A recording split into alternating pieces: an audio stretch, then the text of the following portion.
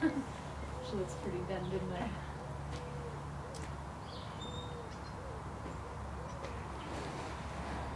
So I don't know if she'll do this, but if you want, you can try to see if she'll give you her paw.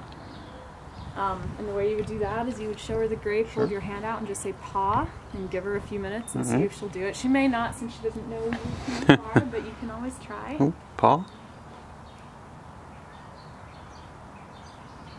no, I'm just gonna go straight for the grape. Close enough. I'm actually surprised.